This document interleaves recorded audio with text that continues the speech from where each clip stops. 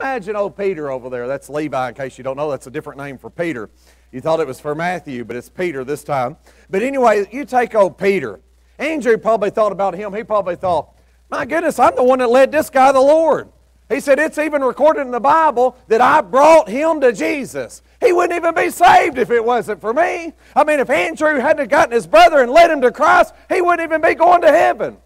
And here he's over here, and he's one of the inner disciples, and Andrew probably could have said, Why shouldn't I be in that seat? I led him to Christ. He didn't get saved first, I got saved first. But here he is, and he's sitting over there, and boy, he's one of the inner disciples, and I'm on the outside. I mean, I'm the fourth man. There's 12 of them, and I'm number four. That's pretty high, but I'm still not sitting in one of these seats.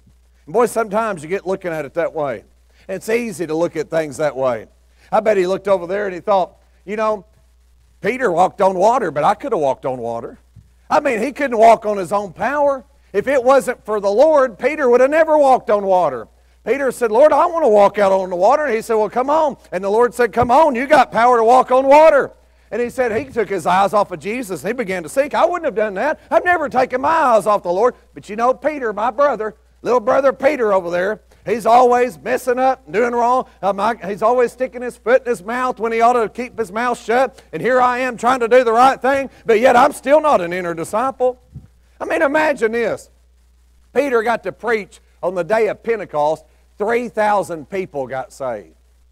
Don't you know that Andrew had been with the Lord as long as Peter? Andrew could have preached on the day of Pentecost if God had chosen him to, but he didn't choose Andrew. He chose Peter to do so.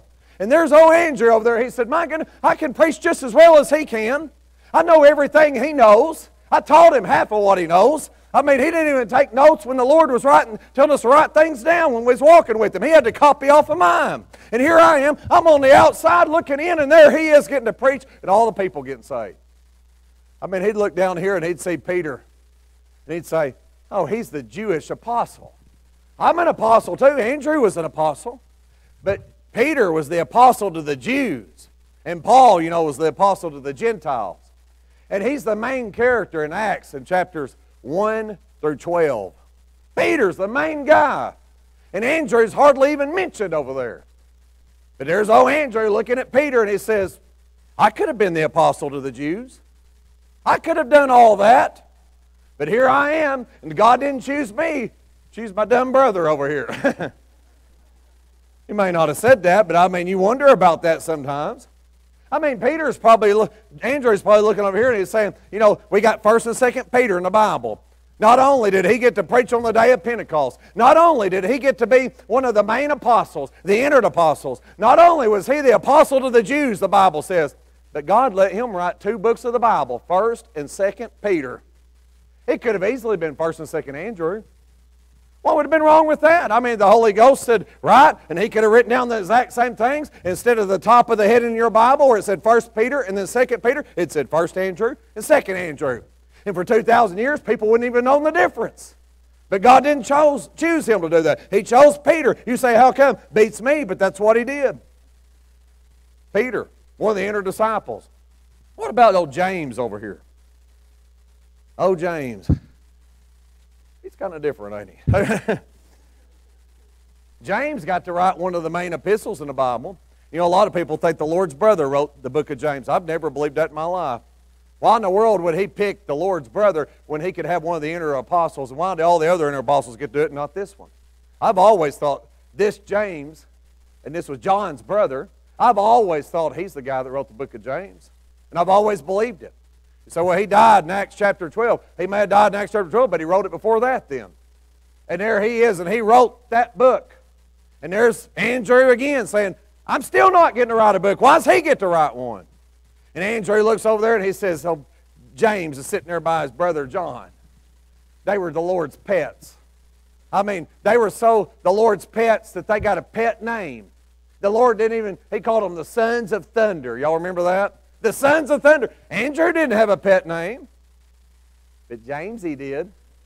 Yeah. he had one. The sons of thunder. I mean, it'd been easy for Andrew to sit there and say, I've done everything that man's done. I've took every step he's taken. I've been persecuted just as much as he has. Why'd he get a special name from the Lord? And here's old James sitting over here. he gets killed by the sword in Acts chapter 12. The Bible records his martyrdom death. He died as a martyr. You don't read about in the Bible. You have to go to a history book or Fox's Book of Martyrs to see something like that. I mean, surely God could have told about when he died. He told when James died and how it happened. I mean, it's just as gruesome and just as bad. He died for his faith. But his name's not there. He's the first man out. And then you got John. And I think about John over here. Old John, man, he's something else. John's the guy at the Last Supper in John chapter 13. He laid his head on the Lord's bosom. Now, that wasn't a, a bad thing like people try to make it today. But in the Bible days, when they ate, they laid down. And a lot of times they would lay on these couch type things. You can eat more laying down than you can sitting over with your stomach crunched over, you know. And they'd lay down. It was comfortable, and they called them couches. You'll see it in Esther chapter 1 and other places. In John 13, that's what they were doing. And they were laying there eating, and they probably didn't have enough seats for everybody. And they were all just laying around, and they probably had a small little room that they's in. There's all piled up in it. And John's laying over there, and he's just leaned up against the Lord right on his bosom. That's his chest. I mean, he's close to his heart. And he's getting to hear that blood pump that bought you your salvation. And John's a type of the church. He's John the beloved. And I bet Andrew's looking over there and thinking, he just thinks he's closer to the Lord than anybody else. I mean, all through the book of John, he never referred to himself as John. He referred to himself in the third person as the one whom the Lord loveth. Talking about himself, he said, God loves me. I'm the one the Lord really loves right here.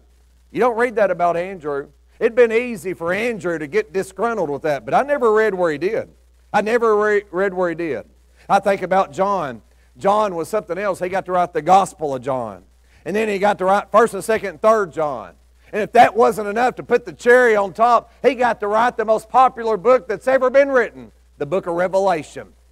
And John wrote that book, the book of Revelation, and he got to tell about the rapture of the, of the church. He got to tell about the tribulation period, the mark of the beast, the Antichrist, the devil doing all that he did. And then he got to tell about the Lord coming back and, and the second coming and whipping the Antichrist and Armageddon and World War III, Armageddon and World War IV, Gog and Magog. And he got to tell all those stories. And I mean, everything looked good. And he got to talk about the marriage supper of the Lamb and the Lord reigning in the millennium. And he got to go out into eternity and see all those things and write down what God showed him.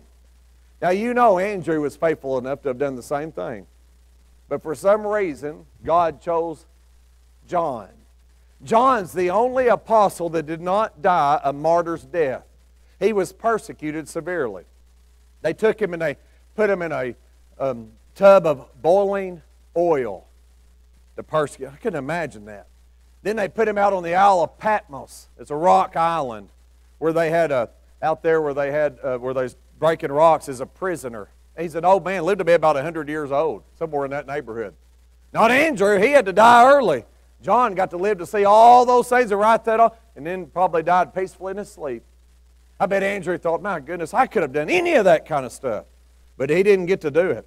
See, it had been real easy, real easy for him to look at that and say, my goodness, I can't take it.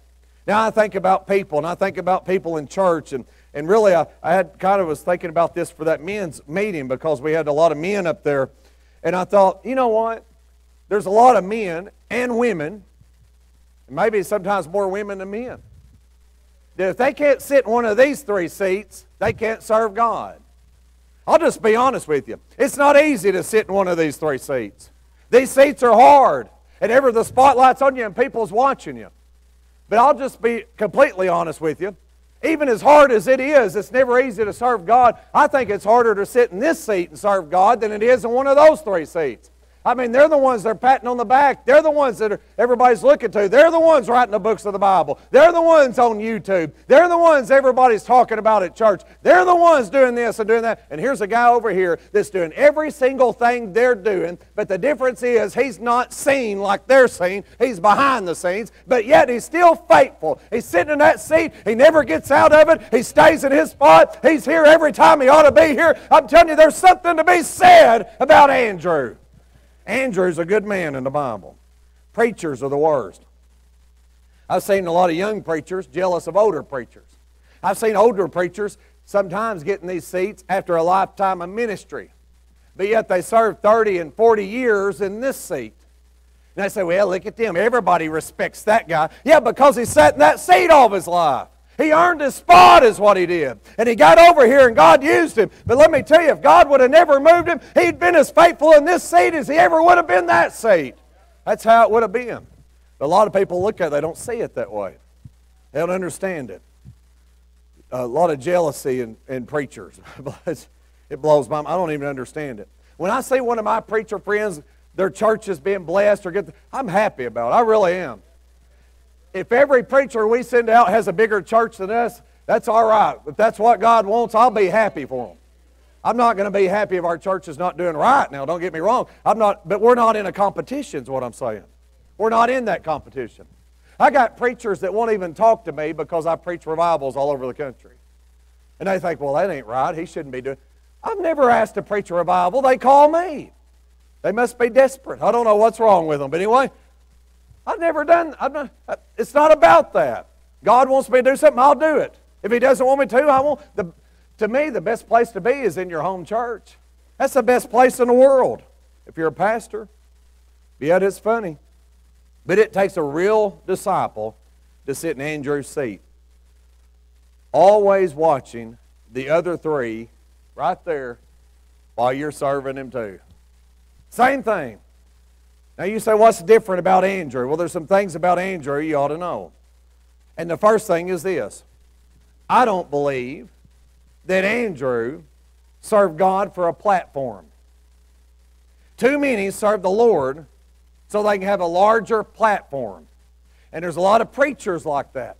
There's a lot of preachers, their motive is to serve God so that they can raise up, and I believe that's why God doesn't use them sometimes because their whole purpose is they're serving God so they can advance their ministry and advance their name. And for them to be a big time preacher, God will never bless that. God's not looking for somebody that wants to advance their name or advance their ministry. He's looking for somebody that wants to advance His name and His ministry. That's what God's after. God will never bless somebody doing it the other way. But yet there's a lot of people with a platform out there. Andrew's platform was the Lord's platform. You see these celebrities doing the same thing. LeBron James, he's the biggest joke in the world. He thinks because he can play basketball, they ought to tell you how to vote. I bet his IQ ain't over 80. Oh, well, he's got to be dumb. You say, well, how do you know that? He wouldn't believe like he believed if that was the case. you got to be a special kind of stupid to believe like he believes. but anyway, you say, well, you shouldn't be talking about black people. Okay, Candace Owens is one of the smartest ladies in the world. How about that for you? Right back at you, buddy. Her IQ's a lot higher than LeBron James, and she's a lot better looking too. But anyway, you got oh, LeBron, he's got a platform. We've got to tell people, we've got to, we've got to do this in ball games. Let me tell you something. When you're getting paid by somebody, you shouldn't have a right to advertise anything. When you're on the clock, go, what, what, what you ought to do is go to work on Monday morning, and what y'all do is start putting you on all these different shirts, that, talking about all these political agendas, and saying, I just, I know it's time to start, but I want to kneel down here and I'm going to do this while it's time to start, and I'm going to talk a while. No, you'll get fired, is what's going to happen. What do you call that? You call that privilege, is what he, he's privileged, is what he is. Somebody say, Amen. I'm telling the truth. You're pri- you, don't, you aren't privileged like that at your job, but he is. But here you've got old Andrew right here. He's not trying to push his own agenda. He's trying to advance the church. He's trying to advance the Lord. And I mean, when people say, Boy, Andrew, I know you're right there behind the scenes, and man, those guys are getting all the honor and all the glory. And Andrew says, It doesn't matter, it's all for the Lord. We're serving the same God. I mean, they may see them, but when I mess up, people don't see it like they see it when they mess up. I mean, everybody knows Peter sticks his foot in his mouth, but I've done it a bunch of times. It's just not recorded in there because I'm not one of the inner disciples. He didn't serve God for a platform. I'll tell you something else. He didn't serve God for a position. Andrew was an apostle. These men are apostles. You say, who are, we don't have apostles today, but we had them in the Bible days. And these men were apostles, and there were 12 of them originally. And before the Bible was complete, there was 20 of them, counting the Lord. And anyway, you've got Andrew over here. He's an apostle just like they're an apostle. But he's not one of what they call the main apostles. He's not an inner disciple. He's not one of them.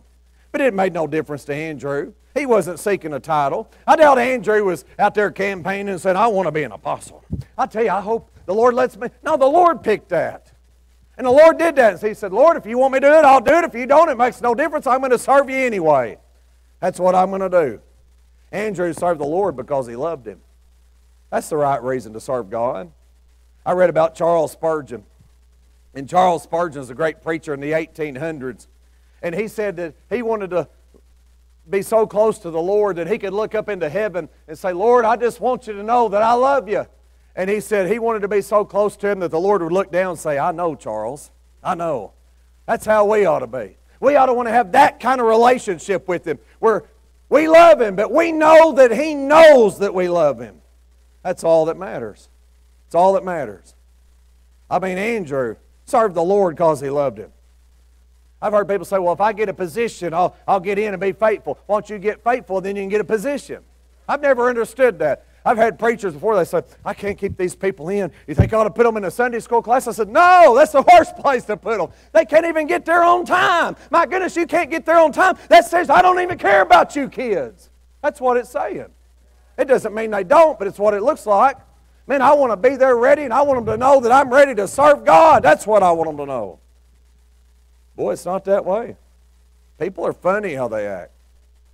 He didn't say, I mean, he could have done all kinds of things, but, you know, Andrew considered how much the Lord loved him, too. I think a lot of people have forgotten that. They've forgotten how the Lord loves us and how much he loves us. Did you know the Lord Jesus Christ died for the first man out just as much as he died for the first three in? He didn't die more for them than he did him. He didn't love them more than he loved him. Sometimes people get that way and they say, well, nobody notices me. I'm just a old widow or woman in church. I'm just a widower in the church or whatever. No, but the Lord notices you. You're just as important to the Lord as anybody. I, am the pastor of this church, have been nearly 20 years. That blows my mind. I've been preaching here for over 20 years because I came in October of 2000 when I first started preaching here, filling in. And anyway, during that time, that's been a long time back. I'm not more important than anybody else in this church. You say, well, you're the pastor. What's that got to do with it? That's a God ordained position. Even though I'm the pastor, that's his position. I'm still a person. Did you know people can be replaced?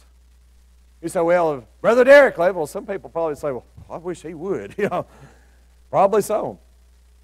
But there might be one ten times better. Don't you think?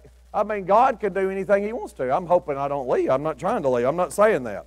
You know what I'm saying? People are funny like that, though. People get thinking, well, they're more important than me. No, they're not. Everybody here is important. You got Lee and Gavin up there. They're sitting up there. You don't even see them. They're up there in a bird's nest, it looks like. They're in the balcony, running the sound. So I didn't even notice they was up there. They weren't doing their job, you'd notice it. You'd notice it then. A sound guy is like a referee in basketball the more you don't realize they're there, the better job they're doing. That's, that's just how I look at it. That's how a sound guy is. We got people that clean this church on a weekly basis. You say, well, clean the church? I wouldn't want to clean the church. Well, you shouldn't be above that. Nobody ought to be above it. You say, well, when nobody notices them, no, they don't notice them, but if they never cleaned it, you would notice them. There'd be trash and your snot rags that you keep throwing down and fingernail clip. Ugh, he give me the creeps doing that stuff. Clip them at your own house, not to God's house. That's sick, you know. But anyway, and then dirty diapers stinking up the place, and who knows what. But yet you don't notice that stuff. You say, why? Because there's faithful people that come every single week and mop and clean and do things so we can have a nice place here. There's so many things just like that. So many different spots. I notice when people miss the choir, little, I mean, people you wouldn't even expect they're here half the time, and some of them can really sing. They could really help that choir. But I notice they're not here. You say, why don't they? They can't get all the way in. But boy, if they could, they'd be a help. So, well, they never get noticed. They don't get to sing a part. Who cares who sings the parts? What's that even matter anyway? We ought to sing for the honor and glory of God. That's what we're here for. People are, crying. I never get to sing a part. And you ought to be glad. Andrew didn't serve the Lord for a position. Let me say finally, Andrew didn't serve the Lord for a promotion. Some people come to the Lord so they can have a promotion. Watch election. It's election time. And we're not as much as some of the churches in town, but I've seen it. I've seen people show up at church that I've never met before. I say, well, Who are you? And they'll tell me, uh, By the way, I'm running for office. Oh, I'm sorry, that's not going to help you here. so, we're not here to try to get votes for office. That's not what we're after. But, you know, there's people that do that. There's a lot of politicians that's done that. Just imagine how much having a friend like Jesus can promote somebody. I mean, how about somebody take somebody that's in the commercial fishing business like Andrew? Could you imagine having a friend like the Lord, how he could promote him? Oh, you can't catch fish? Let me put out my new video. The Lord showed me how you can take the net and throw it on the other side and catch more than you can even haul in. Oh, you can't pay your bills, can you? The Lord showed me how to go catch a fish and it'd have a coin in its mouth so you can pay your bills. Everybody be buying. He'd have his own show on the Outdoor Channel. I mean, they'd say fishing with Andrew. Man, everybody'd be all about that. All the celebrities be fishing with him. It'd be something else. He'd be visiting the Bass Pros and they'd be signing autographs and pictures and stuff. He didn't do that. Andrew didn't serve God so he could get a promotion. He didn't do it for that way. Andrew served the Lord so that he could be a fisher of men, so he could promote the Lord Jesus Christ. You know, that's the way it's supposed to be. Now look at Andrew, the first man out. Now look at Peter, James, and John. Everybody knows about them. Maybe not everybody knows about the ministry of Andrew. And he's got some things he did in the Bible you may not know about. But there he is, and he was faithful, and he got called when these guys got called. And in Acts chapter number one, when you're reading, he's right there with them still after the death, burial, and resurrection of Christ. He's still right there with them. Mentioned fourth, even though he's one of the first ones mentioned in the Bible, he ends up being fourth. But he's just as faithful at the end as he was in the beginning. That's how we ought to be. We ought to serve God all the way, no matter what. Time's running out anyway. We might as well finish strongly and do right by God. We need some folks that'll do it, men and women and children, that'll serve God and get in all the way. Let's stand together. We'll have an invitation. Y'all just leave the chairs. Everybody fine. Y'all going down.